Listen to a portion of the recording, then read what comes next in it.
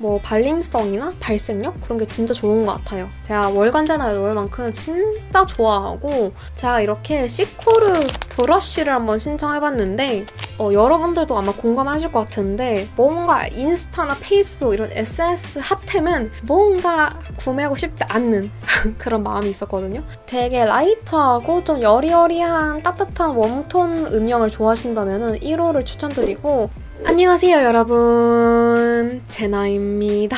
여러분 오늘은 좀 옛날 유튜브 감성으로 어, 소소한 메이크업 언박싱을 해볼 거예요. 오늘은 여러분들과 그냥 소소하게 화장품 언박싱을 해볼 건데 어, 저와 여러분의 연결고리는 바로 화장품이지 않습니까? 그래서 어, 화장품 얘기를 어, 이렇게 수다를 떨면서 음, 영상을 찍을 것 같아요 제가 이렇게 담아왔는데 제가 원래는 화장품을 싹 다 그 종이 박스 있죠? 올 때 그 종이 박스 거기에 넣어놨는데 저희 언니가 어, 요즘 장마철이고 하다 보니까 바선생 바퀴벌레가 생길 수 있다 해서 종이 박스를 다 버려버렸더라고요. 그래서 아쉽게도 제대로 된 언박싱은 좀 하기 어려울 것 같아요.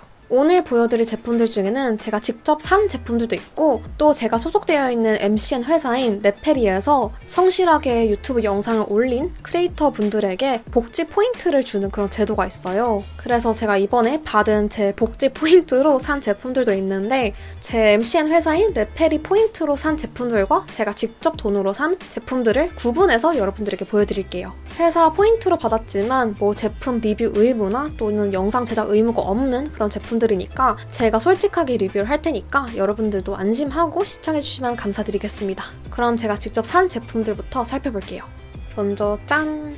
이거 셀레피트 더 벨라 컬렉션 아이섀도우 팔레트 미니 에피소드 1, 2, 3을 다 샀는데 제가 벨라 팔레트 2호 있잖아요. 그 웜웜한 컬러로 구성되어 팔레트 그 팔레트를 제가 엄청 잘 쓰거든요. 그거도 제가 직접 구매했는데 너무 잘 써가지고 이게 런칭됐을 때 샀는데 제가 한 번도 사용을 안 해봤어요. 그래서 여러분들에게도 한 번도 보여드리지 않아서 가져왔는데 이게 뷰티 유튜버 벨라님과 셀레피트가 콜라보해서 나온 건데 1호는 뭔가 로즈빛 브라운 컬러로 구성되어 있고 2호는 특이하게 좀 베이스 컬러와 쉐딩할 수 있는 컬러 그리고 하이라이트를 넣을 수 있는 그런 컬러가 있어요. 제가 이걸 벨라님 리뷰를 보니까 좀 휴대하면서 이렇게 뭐 코 쉐딩이나 하이라이트 수정도 할 수 있게 뭐 그런 생각으로 제작을 하셨다고 하더라고요. 그리고 또 특이하게 3호는 이 글리터 대잔치예요, 여러분. 진짜 신기하죠? 저는 하나만 사야 된다면 이 3호는 진짜 강추드리고 싶어요. 글리터 이 펄 질감이 장난 아니고 특히 이 머메이드 컬러 있죠? 이게 진짜 입자가 엄청 커요. 이 셀레피트 섀도우 퀄리티가 상당히 좋더라고요. 뭐 발림성이나 발색력 그런 게 진짜 좋은 것 같아요. 오늘은 그냥 언박싱이니까 빠르게 패스를 할게요. 제가 요즘 섀도우에 빠져가지고 짠! 이것도 샀어요. 데일지크 섀도우 팔레트 1호 슈가 브라우니. 솔직히 말해서 전 이 팔레트를 안 사려고 했어요. 어, 여러분들도 아마 공감하실 것 같은데 뭔가 인스타나 페이스북 이런 SNS 핫템은 뭔가 구매하고 싶지 않는 그런 마음이 있었거든요.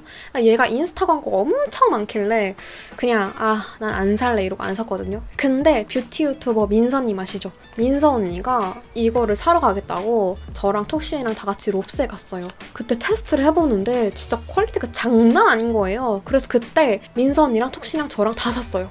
저는 1호 슈가 브라우니로 샀는데 이게 세 가지 호수가 있는데 저는 1호로 샀거든요. 웬만하면은 1호를 사는 걸 추천드려요. 2호는 너무 핑크 핑크하고 3호는 예쁜데 너무 라이트한 음영 톤밖에 없어서 좀 음영 넣기 좀 어렵겠다 싶어서 1호를 가장 추천드려요.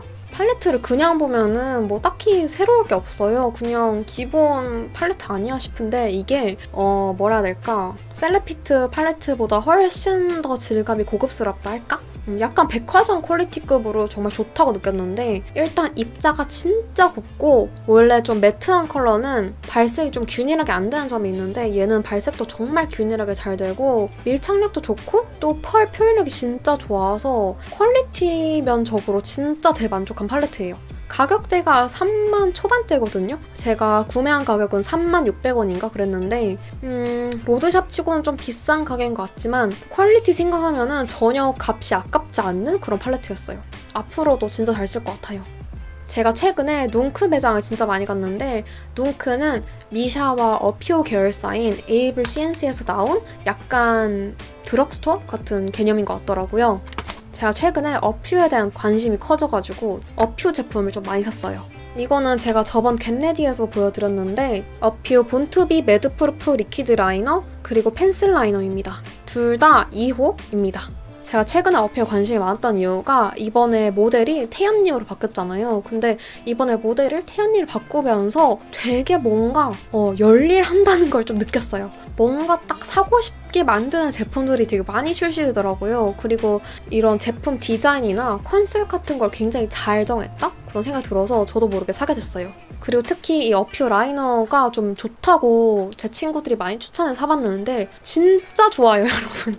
이거 진짜 어퓨 광고 아니고요. 이건 진짜 제가 지금 산 건데 진짜 여러분 머지, 삐야 또 뭐가 있지 유명한 거? 하여튼 웬만한 로드샵, 웬만한 유명한 아이라이너보다 더 좋아요, 여러분. 펜슬도 그렇고 붓펜도 그렇고 굉장히 손쉽게 쫙 그려져요. 특히 펜슬이 이런 마찰력 느낌 전혀 없이 되게 스쳐 지나가게 부드럽게 쫙 그려진달까? 진짜 잘 그려져요. 요즘 날씨가 굉장히 습하잖아요. 그래서 저는 어, 원래 안 번지던 아이라인도 번지더라고요. 근데 이거는 진짜 번지지 않았어요. 저 어퓨 라이너가 너무 좋아가지고 제가 계속 어퓨 눈팅을 하다가 이 brow 제품들이 출시했더라고요. 그리고 또 제가 냉큼 샀죠. 짠! 제가 또 저번 get ready에 brow에 대한 고민이 정말 많았는데 어, 어퓨 거를 구매를 해봤어요. 이게 뭉치지 않는 brow 펜슬이래요. 그래서 바로 사봤는데 일단 이게 뭉치지 않고 과하지 않고 번지지 않는다로 써있어서 샀어요. 이건 궁금해 제가 오늘 써봤거든요. 근데 진짜 잘 그려지고 음 되게 손쉽게 눈썹 표현을 할 수 있고 또 너무 진하게 막 이렇게 짱구 눈썹처럼 그려지지 않아서 좀 초보자분들도 사용하기 좋지 않을까 싶어요. 로드샵 중에는 이 정도 퀄리티면 진짜 좋지 않을까 싶어요. 그리고 이것도 샀거든요. brow 마스카라. brow 마스카라가 진짜 좋아요. 진짜 색이 좀 잘 입혀지고 또 뭉치지도 않고 따로 막 양 조절할 필요 없이 되게 적정량만 나와서 진짜 좋더라고요. 양이 좀 많은 것 같기도 해요. 이게 5.5g이니까 많은 거겠죠? 네, 많은 것 같아요. 그러고 보니까 이 아이라이너나 이 brow 제품이 다 Born to be 라인인데 제 생각에는 어퓨가 이렇게 좋은 제품들을 개발해두고 어, 모델이 태연님을 바꾸는 순간 이렇게 팡 터지게 어, 미리 전략을 짜지 않았나 어, 그런 저의 추측이 좀 생기는 것 같아요. 또 어퓨인데 아 진짜 어퓨에 약간 빠진 거 티나죠?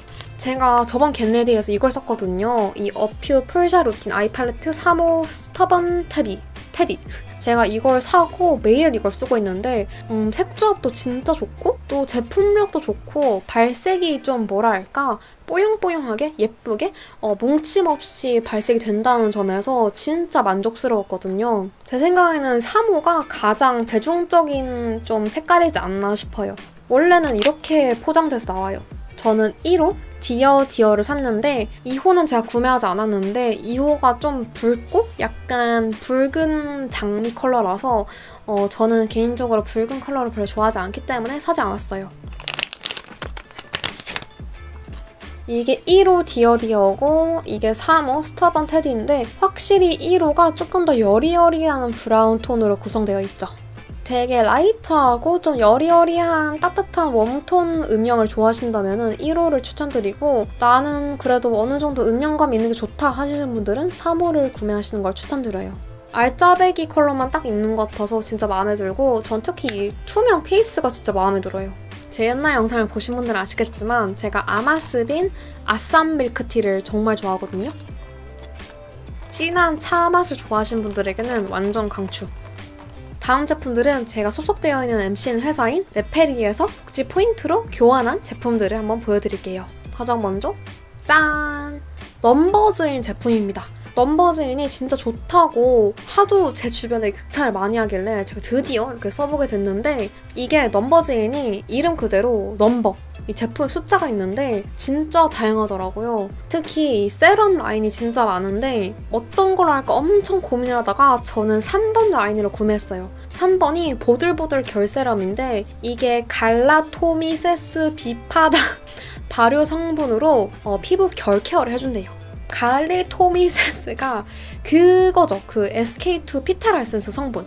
어, 제가 알기론 그건데 제가 원래 트러블이 잘 나는 피부는 아니에요. 근데 피부 결이나 피부 컨디션이 되게 쉽게 망가지는 스타일이거든요. 그래서 뭐 스트레스를 받거나 잠을 잘 못 자거나 컨디션이 안 좋을 때 피부 결이 완전 거의 막 돌처럼 되거나 아니면 푸석해지거나 또는 안색이 정말 회색빛이 되거나 피부 결이 좀 쉽게 망가지는 스타일이라서 3번 라인으로 구매했어요.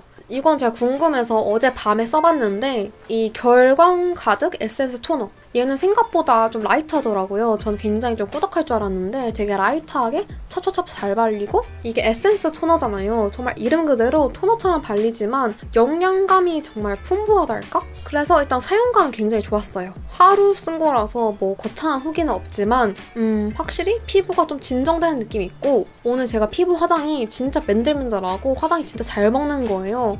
그래서 뭔가 뭔가 제 추측으로는 이걸 사용해서 좀 결이 약간 좀 약간 진정이 됐나 그런 추측을 하고 있어요.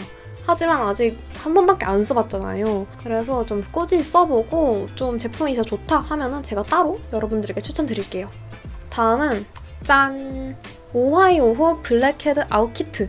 이거 진짜 엄청 기대를 했는데 제가 오하이오후 브랜드에 대한 약간 호기심이 많다 할까? 어, 오하이오후 측에서 예전에 어, 많은 제품들을 선물로 보내주셨어요. 그래서 제가 여러분들에게 많이 보여드리지 않았지만 뒤에서 어, 카메라 뒤에서 오하이오 제품들을 정말 많이 써봤는데 생각보다 제품력이 되게 좋은 거예요. 일단 다 엄청 순하고 피부 진정에도 좋고 제형도 좋고 하지만 가격이 조금 높다는 게 좀 단점이긴 했는데 일단 제가 처음 접하는 브랜드 중에서 가장 만족스러웠던 스킨케어 브랜드였어요. 근데 여기서 이 블랙헤드 아웃 키트가 나왔길래 이렇게 블랙헤드 아웃 젤 오일이 있고 이렇게 조그만 거 두 개가 있는데 얘는 블랙헤드 아웃 마스크래요. 뭐 어떻게 쓰는 거지? 우선 이 아웃젤 오일로 3분 동안 블랙헤드 많은 곳에 이렇게 롤링 해주고 물로 씻겨냅니다. 그 다음 이 blackhead out 마스크로 피지가 많은 부분에 바르고 다 마르면 떼어내거나 미온수로 씻겨내면 된다고 합니다. 왜 얘는 크고 얘는 작을까요? 분명 이유가 다 있을 텐데 그쵸? 요즘 마스크를 쓰다 보니까 뭔가 이 코가 약간 어, 자체 찜질방 속에 들어가 있는 느낌이 들어서 정말 피지가 많이 쌓이더라고요. 그래서 너무 스트레스를 받아서 아 제가 최근에 그 aqua peeling기도 구매했거든요. 4만 원대의 aqua peeling기 이걸 샀는데 걔도 뭐 나름 괜찮긴 한데 그래도 뭔가 이런 화장품으로 좀 효과를 볼 수 있는 게 있을까 싶어서 구매를 해봤어요. 그리고 짠! 이거는 입큰 selfie HD finish 팩트. 입큰이 또 파우더 던져버렸다. 입큰이 또 파우더 장인이잖아요. 그래서 제가 실제로 입큰 팩트가 두 가지가 있는데 그걸 정말 잘 쓰고 있었는데 이렇게 제가 좋아하는 투명 팩트가 나온 거예요. 그래서 이걸 한번 신청해봤어요. 정말 입자가 곱네요. 얘는 이 코 반대쪽에 한번 테스트를 해볼게요. 오, 오, 얘 괜찮다. 어, 얘 완전 딱 제 스타일. 정말 자연스럽게 유분만 싹 잡아주고 어느 정도 그 모공을 살짝 살짝 이렇게 가려주는 괜찮은데? 파우더가 진짜 얇게 쫙 밀착되고 진짜 표현력이 자연스럽고 뽀송뽀송하니 마음에 들어요. 다음으로는 짠! 제가 이렇게 시코르 브러쉬를 한번 신청해봤는데 daily 터치 blending 브러쉬 얘네들이 가격대가 꽤 괜찮더라고요. 그래서 신청해봤는데 커팅이나 모질은 음, 그냥 무난하네요. 막 엄청 고퀄은 아닌 것 같고 되게 인조머다 이런 느낌이 좀 강하게 도는 것 같아요. 사이즈가 좀 크지 않나요? 제 눈두덩이가 좁아서 더 그럴 수 있는데 네, 정말 제 눈두덩이를 다 덮는 사이즈예요. 커팅이 좀 아쉬운 것 같긴 한데 뭐 나쁘진 않다. 가격대가 저렴하니까 일단 이것도 한번 꾸준히 써볼게요. 그 다음에 이렇게 미니 키트가 있는 거예요. 케이스를 열면 오 안에 거울이 있네. 브러쉬를 귀여워. 괜찮은데? 되게 코 shading 할 때 쓰기 좋은 그런 브러쉬가 하나 있고 일단 브러쉬 모질 자체는 이 큰 거랑 똑같거든요? 커팅이 막 엄청 고급스럽진 않다? 약간 그런 느낌이 있어요. 그래도 모질 자체가 나쁘진 않아서 뭐 섀도우 바를 때 지장이 없을 것 같은 그런 섀도우 브러쉬인 것 같아요. 그래도 뭐 가격 대비 굉장히 잘 나온 것 같아요. 애초에 얘네들이 뭐 2만원대 또는 3만원대 브러쉬가 아니기 때문에 뭐 피카소 quality를 바라는 게 아니잖아요. 음, 괜찮은 것 같아요. 미니 키트가 진짜 잘 나온 것 같아요. 마지막은 제가 이 스킨푸드 buttery cheek cake 이거 제가 월간 제나에서 강추를 한 제품이잖아요. 이 1호랑 6호는 제가 직접 구매를 했는데 이번에 레페리몰에서 이 스킨푸드가 입점이 됐길래 이 4호 toast peach를 신청해봤어요. 1호는 되게 쿨한 핑크 컬러인데 light하면서 살짝 mute한 느낌이 있는 그런 컬러고 4호 toast peach는 살짝 구워진 듯한 살구 peach? 음, 약간 진저 컬러 같기도 한 그런 컬러예요. 그리고 제가 원래 잘 썼던 6호 apricot chou. 약간 차분한 오렌지 apricot 컬러예요. 이 스킨푸드 cheek라인이 전반적으로 컬러가 좀 차분하고 mute한 컬러가 굉장히 많아요. 뽀용뽀용하고 화사한 컬러를 좋아하시는 분들은 좀 아쉬울 것 같긴 해요. 근데 제가 이 제품은 제가 월간제나에 넣을 만큼 진짜 좋아하고 어, 질감과 제형감, 표현력, 지속력까지 정말 완벽한 blusher라서 진짜 강추드려요. 혹시 지난 월간 제나를 안 보셨던 분은 제가 더보기란에 월간 제나 링크를 넣어줄게요. 자 여러분 이렇게 오랜만에 화장품 unboxing을 해봤는데 unboxing이다 보니까 좀 간단하게 제품을 좀 이렇게 슉슉 지나간 게 좀 아쉬울 것 같긴 한데 제가 이 제품들은 더 꾸준히 테스트해보고 만약에 좋다면은 제가 또 다른 영상에서 여러분들에게 추천드리도록 할게요. 그럼 오늘도 영상 끝까지 시청해줘서 너무 감사드리고 우리는 다음 영상에서 또 만나요. 안녕!